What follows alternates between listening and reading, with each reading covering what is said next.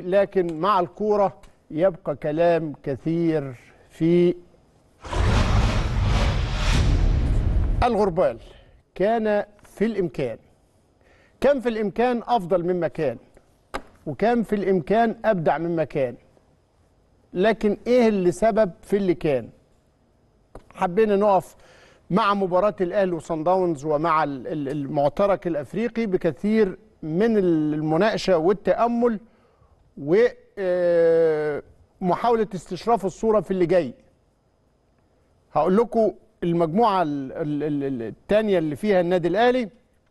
الأهلي تعادل مع صن داونز 2-2 في هذه الجولة لكن القطن الكاميروني خسر في ملعبه من الهلال السوداني 2-1 عشان يكون ترتيب المجموعة صن داونز عنده سبع نقاط الهلال عنده ست نقاط. الأهلي عنده نقطة بس ليه مباراة مؤجلة 4 مارس هتبقى مع القطن.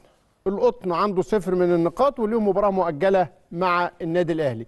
الجولة الرابعة القطن هيلعب مع الهلال يوم الأربع 8 مارس. القطن في ملعبه هيستضيف الهلال.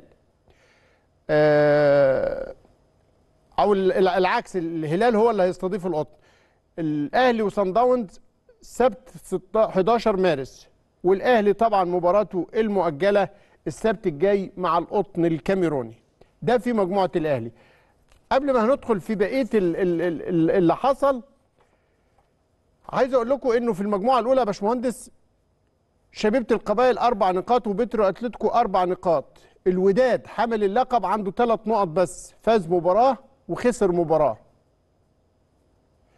ال- الجولة الرابعة بترو أتلتيكو هيستقبل الوداد يوم السبت 11 مارس وشبيبة القبائل المتصدر هيستقبل فيتا كلاب الكونغولي.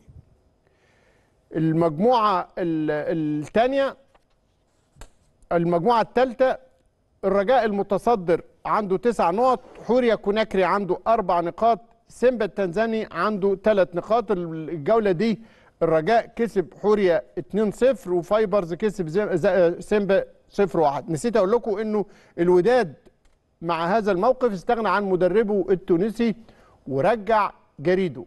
جريدو مدرب الأهلي السابق درب ال- الوداد قبل كده ودرب الرجاء ودرب النجم الساحلي واشتغل في السعودية لف لفة طويلة ولسه ماشي من الإسماعيلي من شهرين تقريبا في بداية الموسم.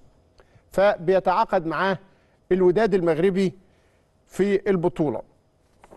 ال- الجولة ال- ال- الرابعه حوريا هيستقبل ال- الرجاء يوم 7 مارس وفايبرز الأوغندا هيستقبل سيمبا يوم 8 مارس.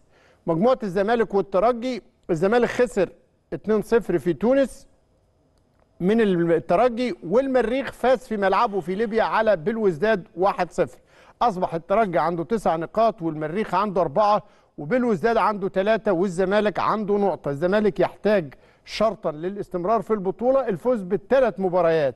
هيلعب أولهم مع الترجي يوم 7 مارس في القاهرة ثم عنده المريخ في القاهرة وفي الآخر هيسافر الجزائر لبلوزداد. بلوزداد الجولة الجاية هيستضيف المريخ. ده الموقف في دوري الأبطال حتى الآن يا باشمهندس.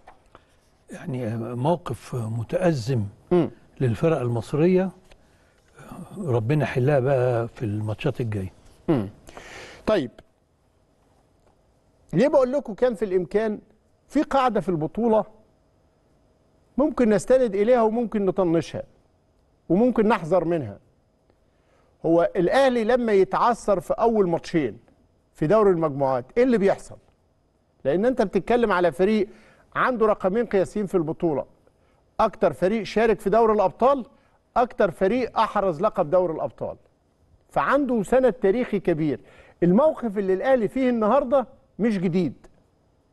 قبل كده عشر مرات الاهلي تعثر في اول جولتين. في العشر مرات وصل للنهائي عشر مرات. وأحرز اللقب ست مرات. اللي أنا بقوله إنه وأنت بتستلهم التاريخ كانت حتى كلمة الكابتن الخطيب وكلمة السيدة أمال الشيخ إنه الأهلي عنده دايما قوة ملهمة. القوة الملهمة بتاعته تاريخه. بس ده بيحمل كمان اللعيبة مسؤولية كبيرة. إنك أنت كل الأجيال السابقة ال- ال- ال- اللي شاركت قدرت تتدارك الأمور وتنهض بسرعة وإذا تعثرت في مباراة أو مباراتين بيكسب الباقي ويتأهل يا باشمهندس. ال- المشكلة المرة دي يا أستاذ إبراهيم النتائج بتاع الفرق الأخرى مع بعضها ما خدمتكش.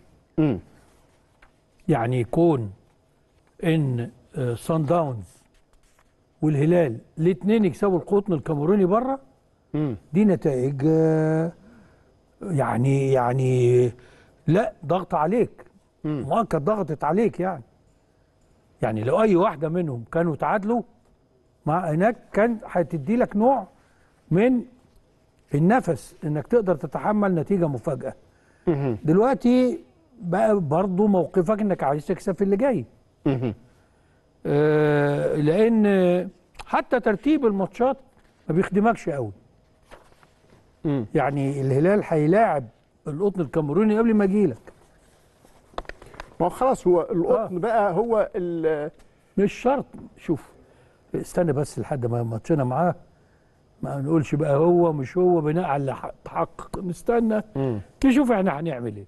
آه المؤشرات بتقول إن القطن إنه بيخسر من الكل. آه لكن يا رب يخسر مننا. ما هو أنت لو لو قدرت تحقق نفس النتيجة هيبقى عندك آه سبع نقاط. هتستحمل بقى إنك الهلال يجي لك تقدر تلعب معاه ماتش يحدد النتيجة. في آخر ال... آه، في آه. آخر المجموعة. لأن سان داونز برضو ما هو سان داونز ما لحد دلوقتي آه آه آه يعني عنده إيه سبع نقاط ولا لا؟ مين؟ سان داونز عنده إيه سبعة؟ سبعة. صن داونز كسب ماتشين وتعادل معاك. عنده سبع نقاط. والهلال عنده ستة. آه. آه، فسان داونز وأنت رايح له سان داونز. آه، ماتش آه، ريزل. أنت رايح له وهو رايح السودان بعديها.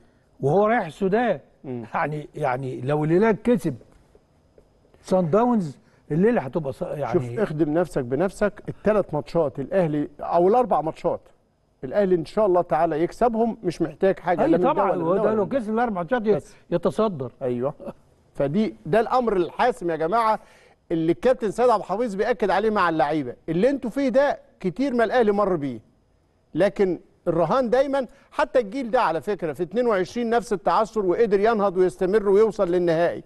الكلام السنة ده اللي فاتت. مر السنة اللي فاتت ما هو طبعاً. 22 آه. ده باستمرار بيحصل. لكن علشان ده يحصل لازم الجمهور يكون في ظهره. آه طبعا. بيفرق جدا. مش عايزين لكم بعض مش عايزين بقى مسألة رمي الفوطة. نتعود عليها.